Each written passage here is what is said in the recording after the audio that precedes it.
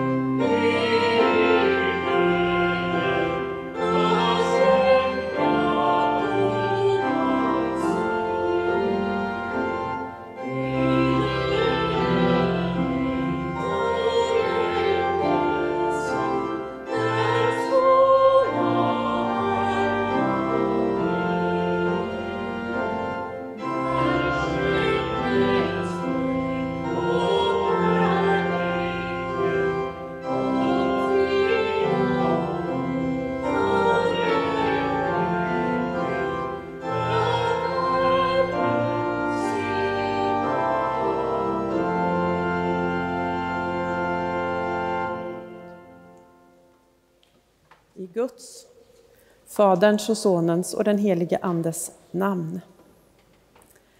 Vi är samlade till gudstjänst. Detta är platsen och detta är tiden att möta Gud och möta varandra.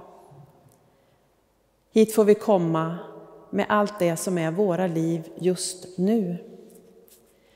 Vi får för en stund lämna ifrån oss oro och bekymmer till Gud för att ta emot kraft att gå vidare. Men vi får också lämna fram det som vi behöver förlåtelse för. Det som vi behöver lämna på ett annat och särskilt sätt. Detta är platsen oavsett var du sitter. Platsen och tiden då vi möter Gud och varandra. Vi ber tillsammans överlåtelsebönen. Jesus Kristus, jag kommer till dig i längtan efter upprättelse. Jag har brustit i kärlek till dig, till skapelsen, till mina medmänniskor och mig själv. Förlåt mig. Möt mig enligt ditt löfte att ta emot alla som söker dig. Till dig som ber om förlåtelse säger jag på Jesu Kristi uppdrag. Dina synder är dig förlåtna. I Faderns och Sonens och den helige Andes namn. Amen. Tack Gud för att du möter oss med förlåtelse och ger oss kraft att leva. I Jesu namn. Amen.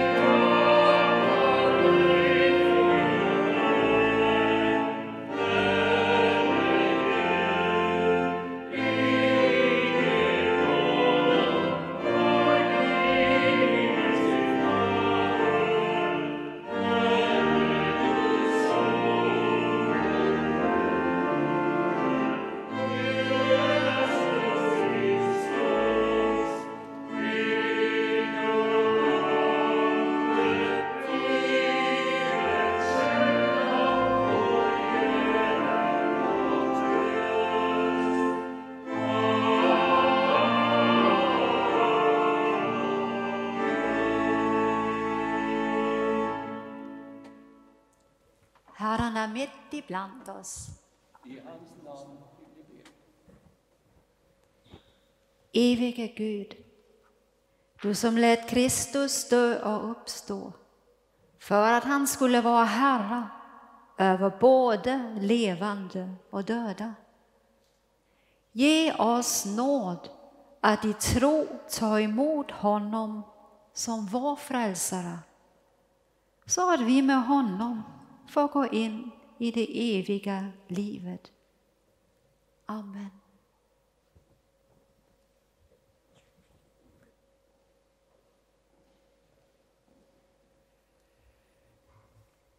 Introduktionen till den gammaltestamentliga läsningen lyder När Mose hade dött tog Joshua över ledarskapet och gjorde sig beredd att leda folket över Jordan in i det land Gud hade lovat dem. Vi, läs, vi läser om förberedelserna ifrån Joshua kapitel 1, verserna 10 till 11. Joshua befallde folkets förmän att gå runt i lägret och säga till folket Gör i ordning proviant. Om tre dagar ska ni gå över Jordan och komma till det land som Herren, er Gud, ger er och ta det i besittning. Så lyder Herrens ord. Gud, vi tackar dig.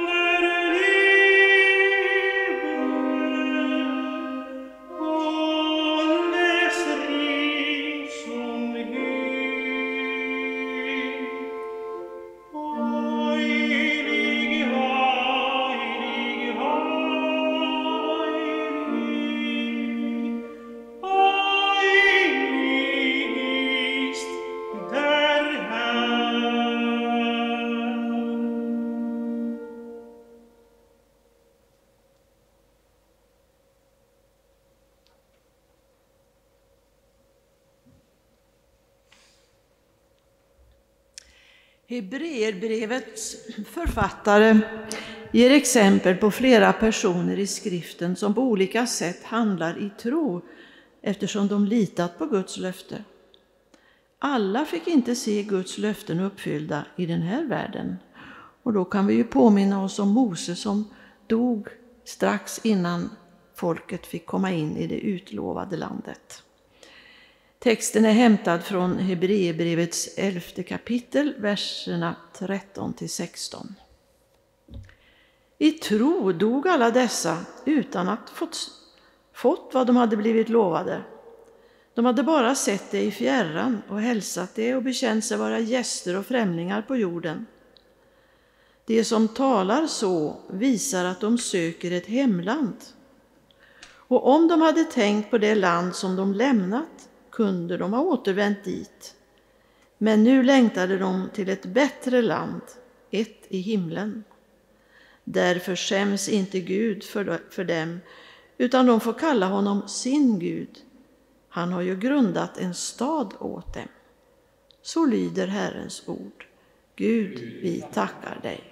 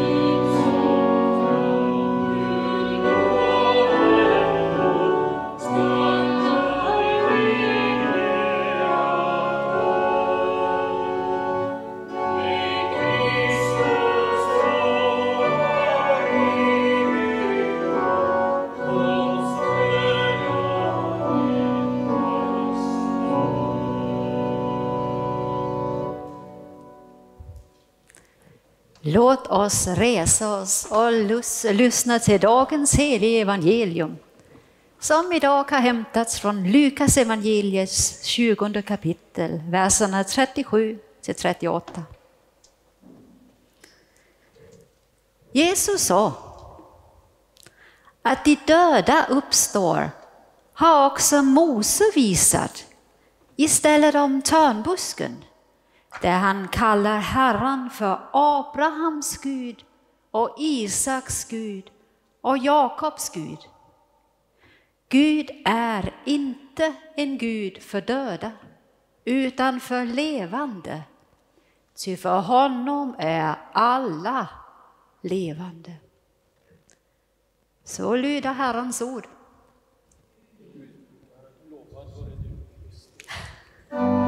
Halleluja.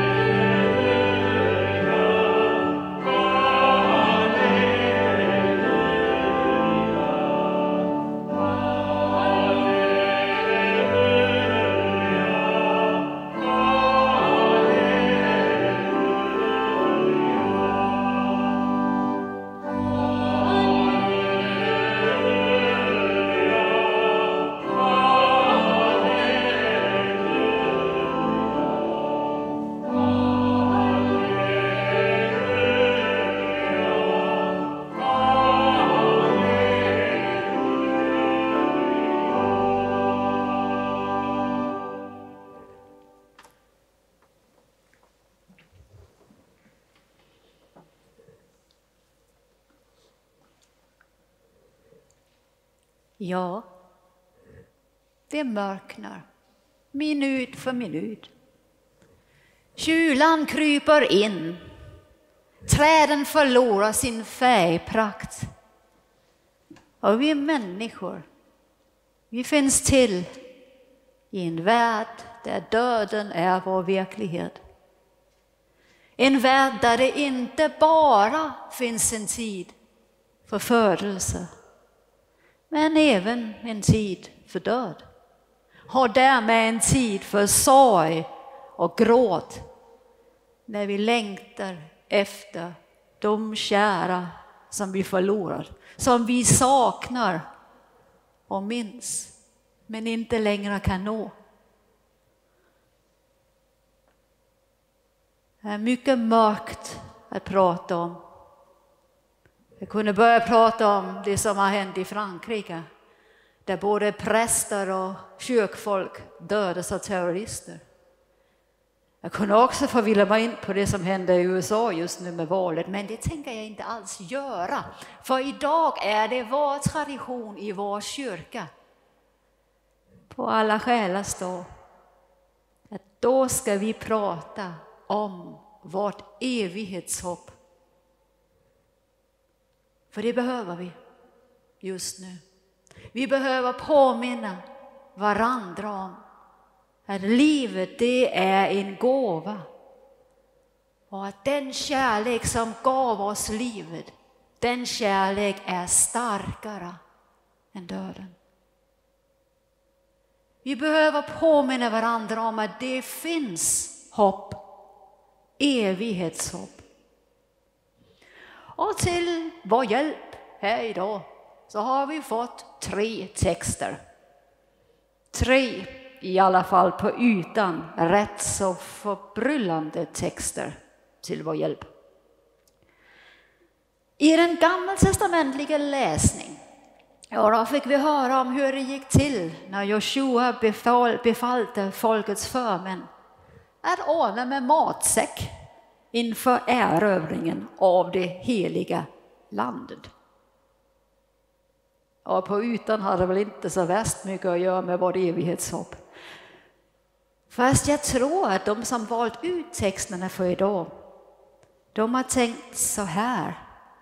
Vi ska höra texten som en allmän uppmaning att förbereda oss inför det land som vi utlovats. Med andra ord, vi ska komma ihåg att vi ska dö. Och förbereda oss inför övergången till det eviga. Samla skatter i himlen istället för på jorden. Leva så att fokus är på Gud och våra medmänniskor, på kärleken. Leva så vi fyllas av glädje. Inte spilla tiden på en massa strunt. Episteltexten Och den handlar ju om en annan tid i kyrkans historia där vi fick ställa in, och, eh, inte ställa in men ställa om. Nämligen tiden när de första lärjungarna de började dö utan att Jesus hade kommit tillbaka till dem. Budskapet till oss i den texten är att det har funnits svåra och förvirrande tider för. Men man har gått vidare ändå. Precis som vi också kommer hitta vägar genom det mörker som finns i vår tid. Och nu är vi framme vid evangelietexten och orden om att Gud inte är en Gud för de döda utan för de levande.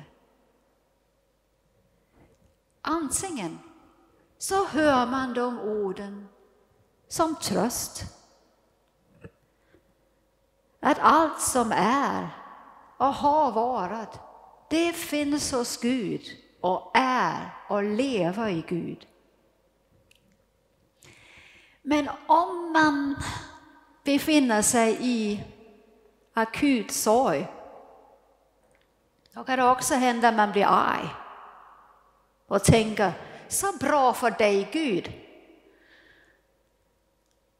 Att de som inte längre lever här inte är döda för dig. Men stolen framför mig, den är tom. Den hand jag vill hålla i, den finns inte här längre. Den kind jag vill kyssa, den är borta. För för oss människor, här i vår människovärld, då är döden ett mycket påtagligt faktum. En död är inte längre här hos oss. Vi kan inte längre nå henne. Man kan komma på sig själv med att tänka arga tankar som varför tog Gud min älskade människa ifrån mig? Min mamma, min pappa, min älskade, min bror, min syster, mitt barn. De borde vara hos mig i mina armar, inte hos dig Gud. Orden om att de som är borta från oss är levande hos Gud kan, om man är mitt i sorgen, bli ett svagt eko av en tröst istället för ett upplyftande glatt budskap. Ska vi försöka hitta evangelium även för de av oss som vandrar i sorgens mörker? Och då måste vi nog försöka lägga känslan åt sidan och analysera texten intellektuellt. Och då börjar vi med att betänka varför Jesus formulerar sig på just detta sätt. Bakgrunden är att på den här tiden så var det en pågående diskussion inom judendomen om det fanns ett evigt liv. Det fanns en grupp som kallades saddukeerna som sa att det gjorde det inte alls, det var inget evigt liv. Och så finns det en annan grupp som kallades fariséerna som sa att det gjorde det visst. Och nu har alltså några saddukeer kommit dit för att ta reda på vad Jesus tycker i den här frågan.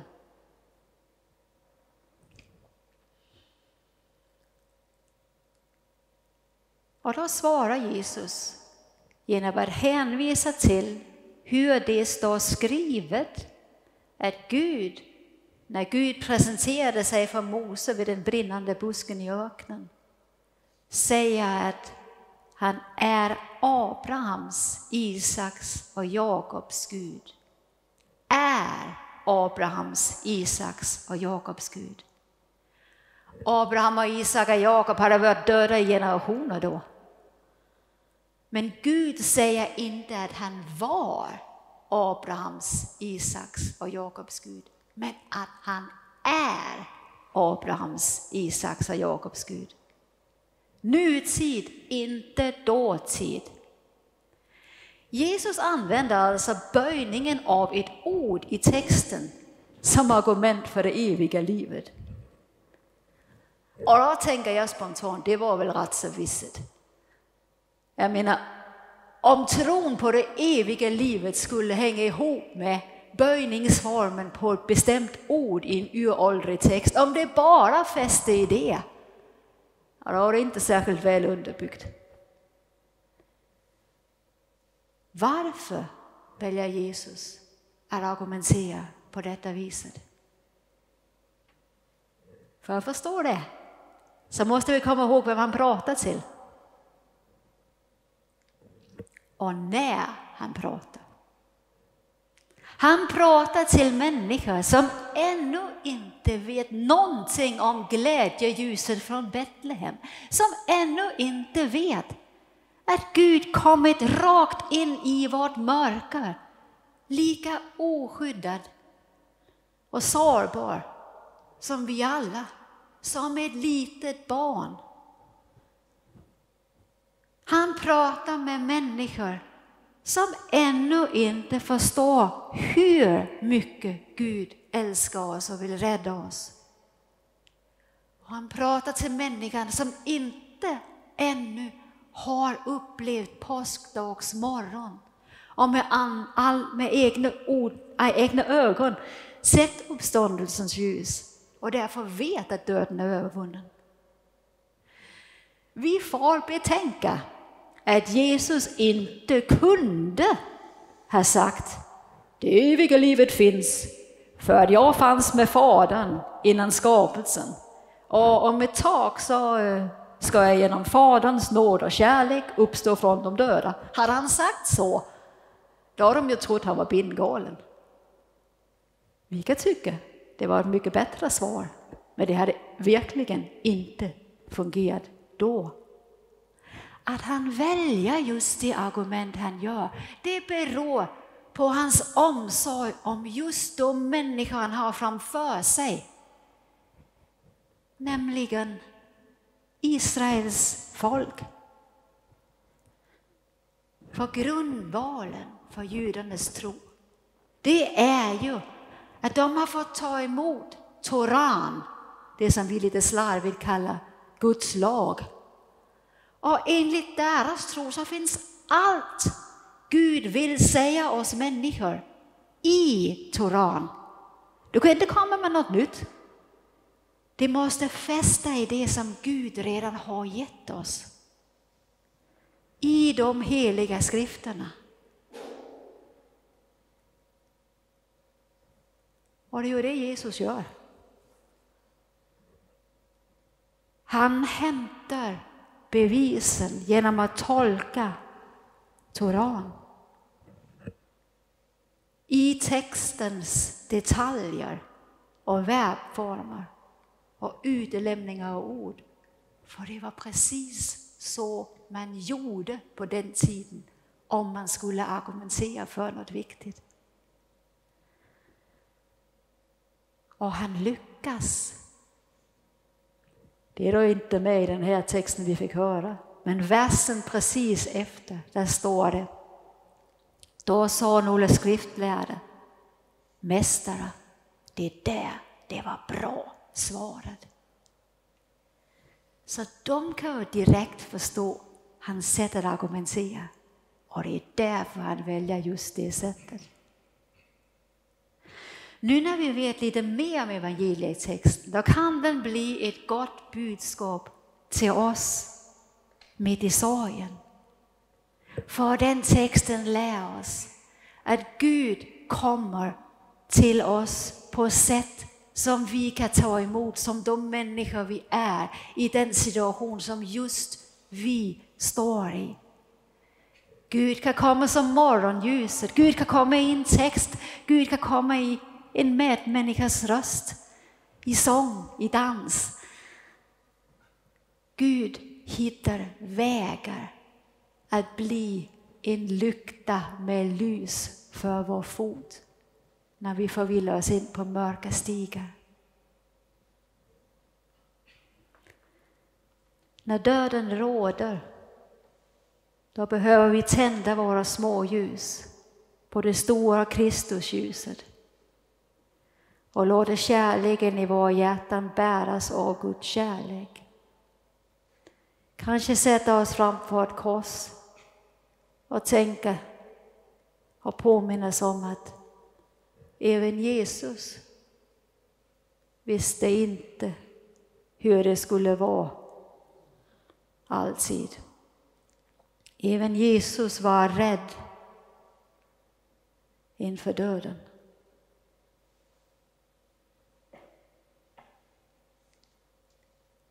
Vi får minnas att Kristus lov var evig vår, trots död och vintersnö och försöka vila i att Guds nåd är evig. Amen.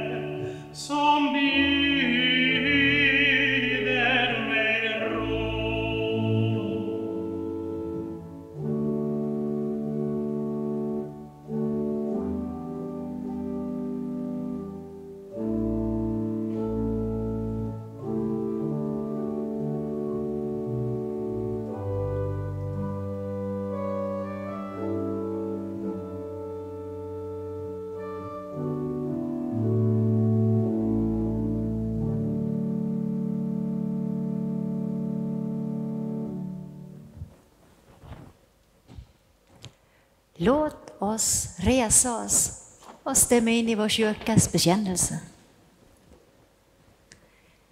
Vi tror på Gud Fader allsmäktig, himmelens och jordens skapare.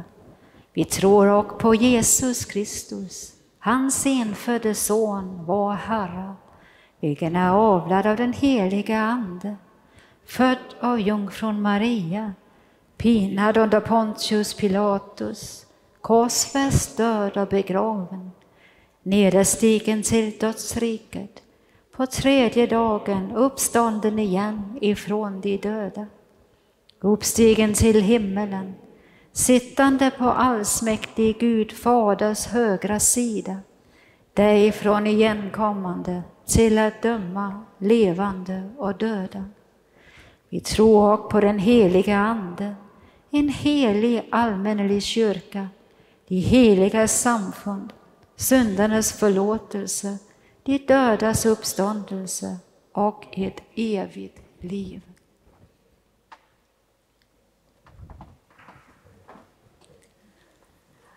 Ja, vår kyrkvärd han sa ju att jag skulle informera mer om kollekten.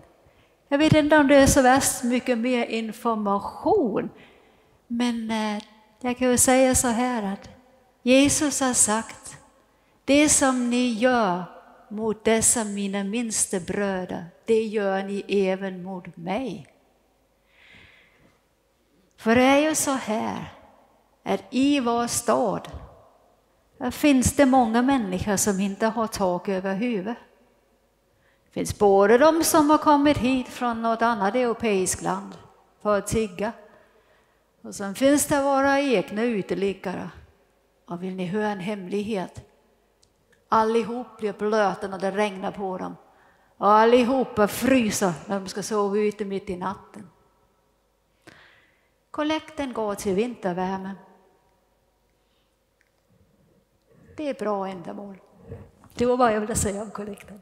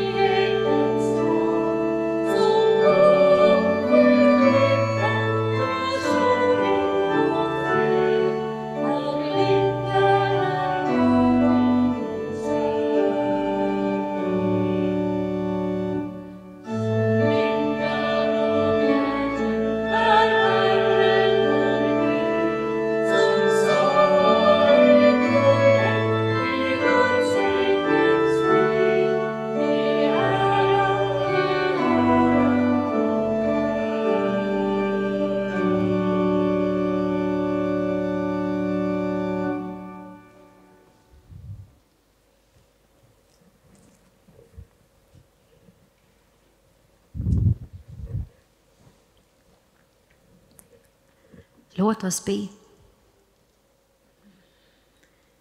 Livets Gud, du som öppnar dörren till det eviga livet. Tack för att du hör vår bön. Möt oss med kärlek.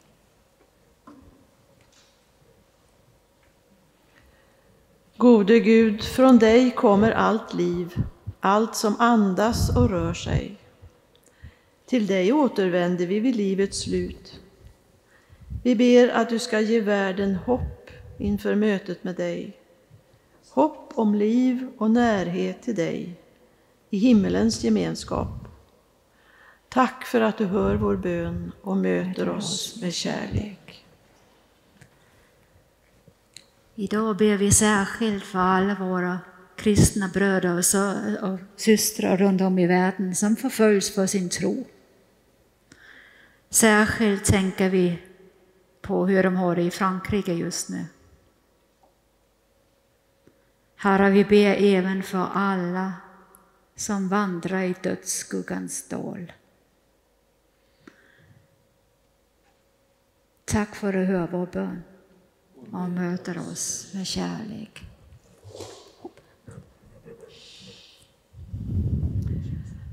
Livets Gud, du som gör allting nytt. Tack för kyrkan, gemenskapen av människor som vill vara dina vänner i gamla tider, nu och i framtiden. Vi vill stå inför dig tacksamma, fyllda av hopp inför himmelens glädje.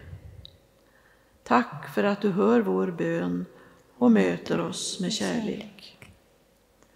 Gud, du säger, var inte rädda till oss. Hjälp oss att ta emot de orden i våra hjärtan och tankar. När framtiden skrämmer, när vi är rädda för mörker och död, då vill vi lita på dina ord och gå dig till mötes med trygghet och glädje. Tack för att du hör vår bön och möter oss med kärlek.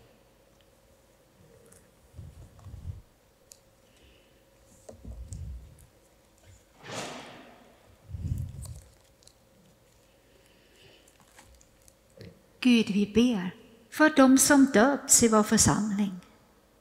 För Benton, Vincent och Olivia. Låt dem växa i tro. Välsigna och bevara dem och deras familjer, nu och alltid. Gud, din nåd bär i liv och död. Vi minns och tackar för dem i vår församling som genom döden tagits ifrån oss.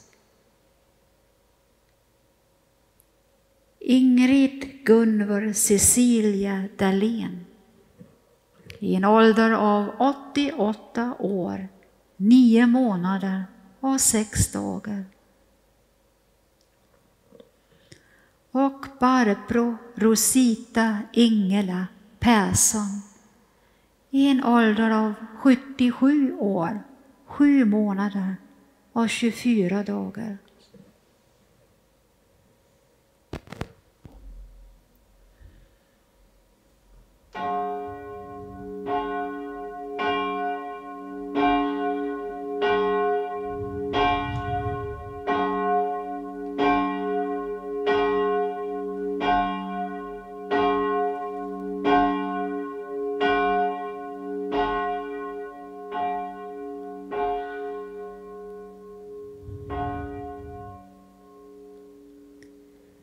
Gud, vi ber för alla som sörjer.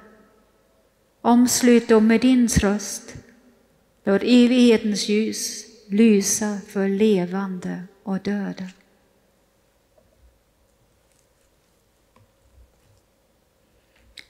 Lovad vara du, som genom din son har besegrat döden och som ger evigt liv i överflöd.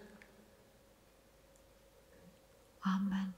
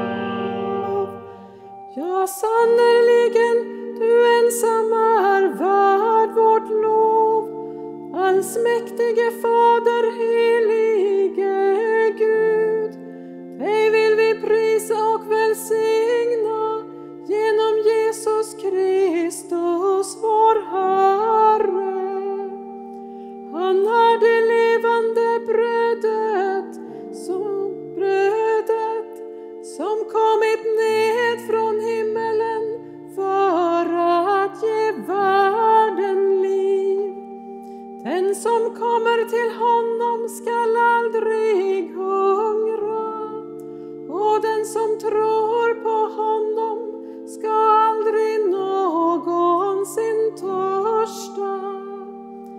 Därför vill vi med dina trogna i alla tider och med hela den himmelska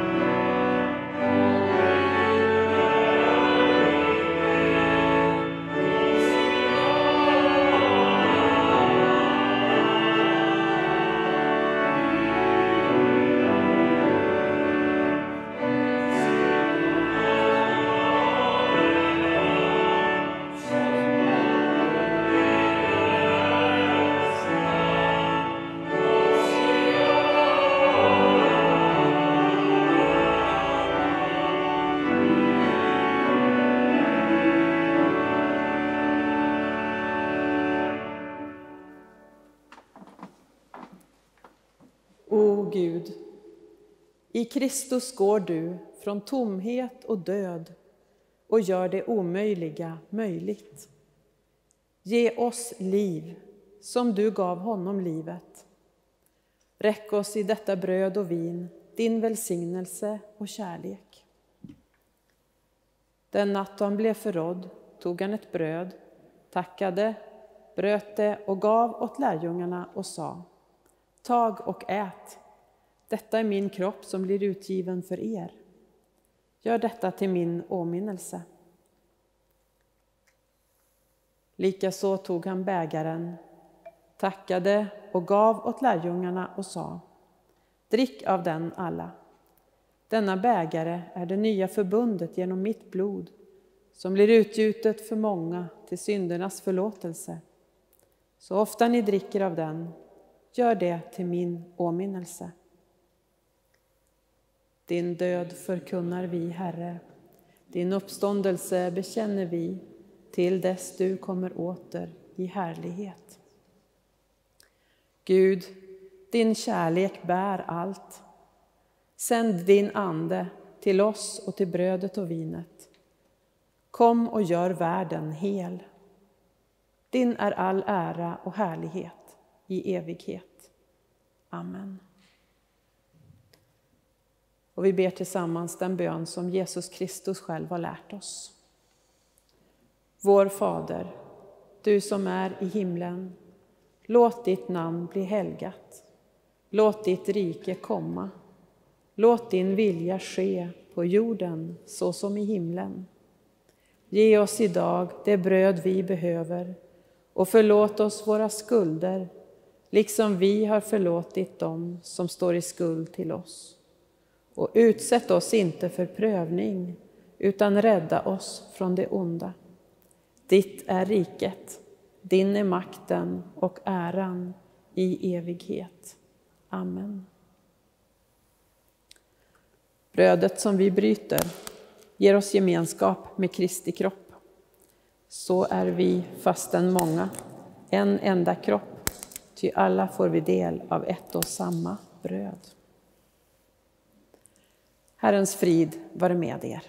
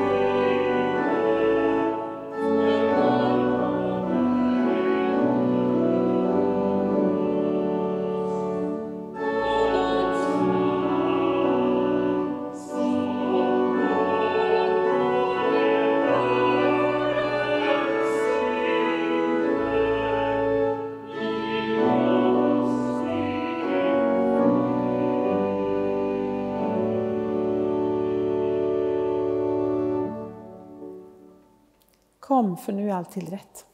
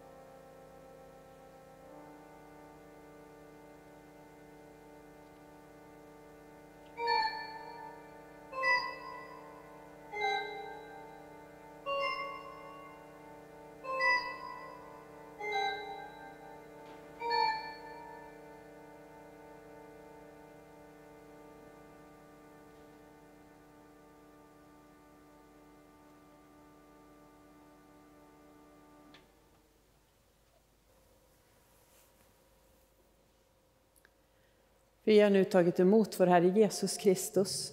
Han bevarar oss till evigt liv. Amen. Låt oss tacka och be. O Gud, tack för dina gåvor. Din kärlek, din förlåtelse, din närhet.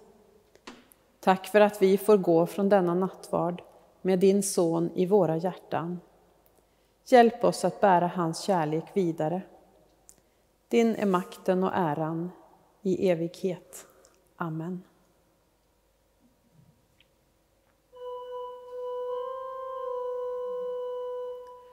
Låt oss tacka och lova Herren.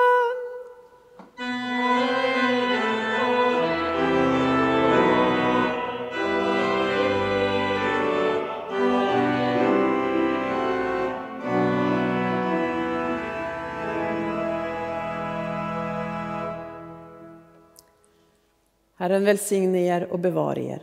Herren låter sitt ansikte lysa över er och vare er nådig. Herren vände sitt ansikte till er och give er frid. I Faderns och Sonens och den heliga Andens namn.